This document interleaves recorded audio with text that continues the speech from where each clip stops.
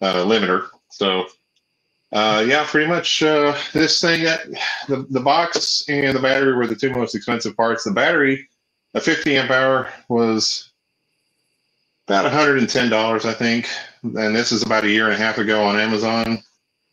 Um, I'm seeing 100 amp hour batteries for about the same price now. Uh, like I said, the battery box is about 70, but I think this is discontinued. Um, the the updated versions are about the same price. So those are going to be your two most expensive parts. Uh, this uh, inverter I got from Wally World for about 60 70 bucks. And the EcoWorthy I got, uh, it's about 30, 35 bucks, something like that. So uh, a lot of it came off of Amazon. Um, some of the stuff I got, like the, uh, you know, the, the, the adapter here for the solar, I, I purchased at a Hamfest.